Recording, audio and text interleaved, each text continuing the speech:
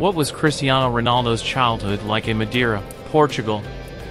Cristiano Ronaldo's childhood in Madeira, Portugal, was marked by both humble beginnings and early signs of his exceptional talent for football. Growing up in the working-class neighborhood of Santo Antonio in Funchal, Ronaldo's life was far from glamorous.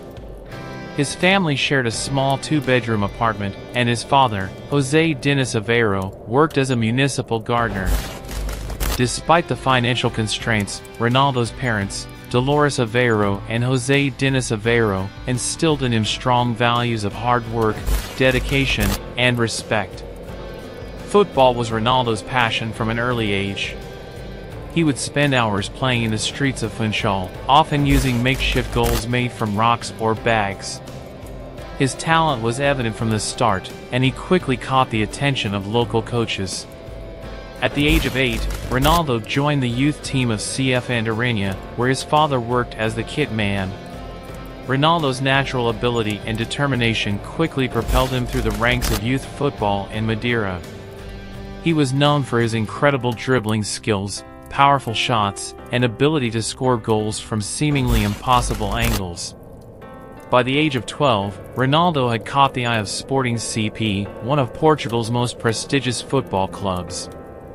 After a successful trial, Ronaldo moved to Lisbon to join Sporting's youth academy, leaving his family and friends behind in Madeira.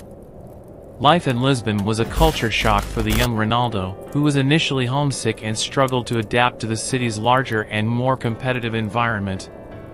However, he never lost sight of his dream of becoming a professional footballer.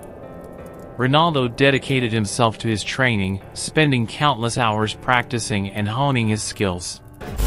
His hard work and dedication paid off, and he quickly rose through the ranks of Sporting's youth academy.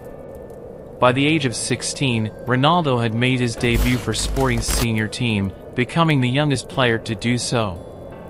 He quickly established himself as a key player for the club, scoring goals and creating opportunities for his teammates. Ronaldo's performances caught the attention of Sir Alex Ferguson, the manager of Manchester United, who signed him to the English club in 2003 for a then record fee of £12.26 million.